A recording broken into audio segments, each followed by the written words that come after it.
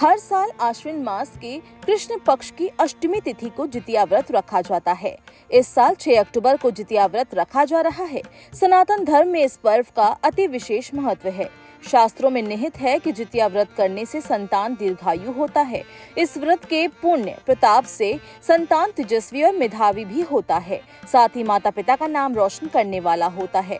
ज्योतिषों की माने तो जितिया व्रत पर दुर्लभ शिव योग समेत कई शुभ संयोग बन रहे हैं। इन योग में भगवान शिव की पूजा करने से व्रती को अमोघ फल की प्राप्ति होती है। आइए शुभ योग और पंचांग जानते हैं। शिव योग। जितिया व्रत पर शिव योग का निर्माण हो रहा है। इस योग में भगवान शिव की पूजा करने से व्रति को अमोक फल की प्राप्ति होती है। सर्वाद सिद्धि योग। जितिया व्रत पर सर्वार्थ सिद्धि योग का भी निर्माण हो रहा है।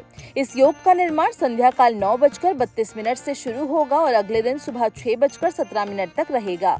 शुभ मुहूर्त। आश्विन माह के कृष्ण पक्ष की अष्टमी तिथि 6 अक्टूबर को प्रातः काल छह बजकर चौतीस मिनट से शुरू होगी और अगले दिन यानी 7 अक्टूबर को सुबह आठ बजकर आठ मिनट पर समाप्त हो जाएगी। ब्रह्मा मुहूर्त सुबह चार बजकर उनतालीस मिनट से पाँच बजकर सत्ताईस मिनट तक है। विजय मुहूर्त दोपहर दो बजकर सात मिनट से दो बजकर चौवन मिनट तक है। गोधुले मुहूर्त शाम छह बजकर दो मिनट से छह बजकर छब्बीस मिनट तक।